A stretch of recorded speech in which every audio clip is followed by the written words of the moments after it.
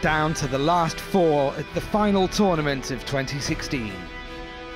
The first semi-final at the O2 would see Andy Murray, the top seed and home favourite, take on Milos Raonic, playing in his first Barclays ATP World Tour Finals semi.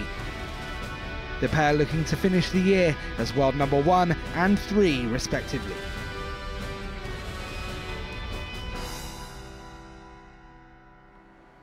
Already a set down, Murray wasn't having things his own way in the second either, as Raonic could smell a break.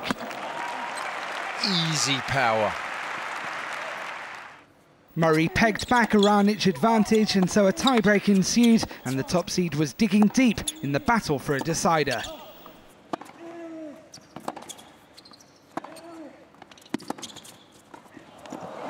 Oh, how's that for a pickup? What a shot! A moment of absolute magic from Murray.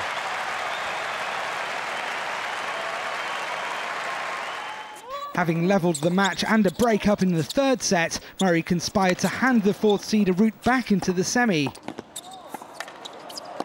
Yes! Beautifully done.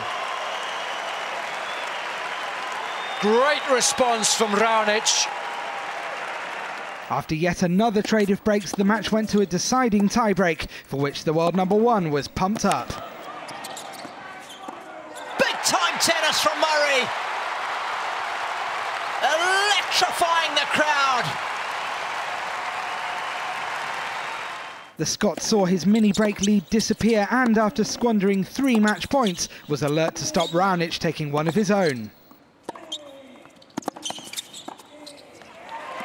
What a point. So cool and calm under pressure there. Moments later, after a new record duration for a season finale three-setter, the world number one lived to fight on. It's victory for Andy Murray. And he is through to his first ever final here at the Barclays ATP World Tour Finals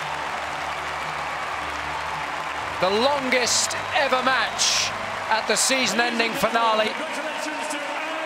He's done it the hard way.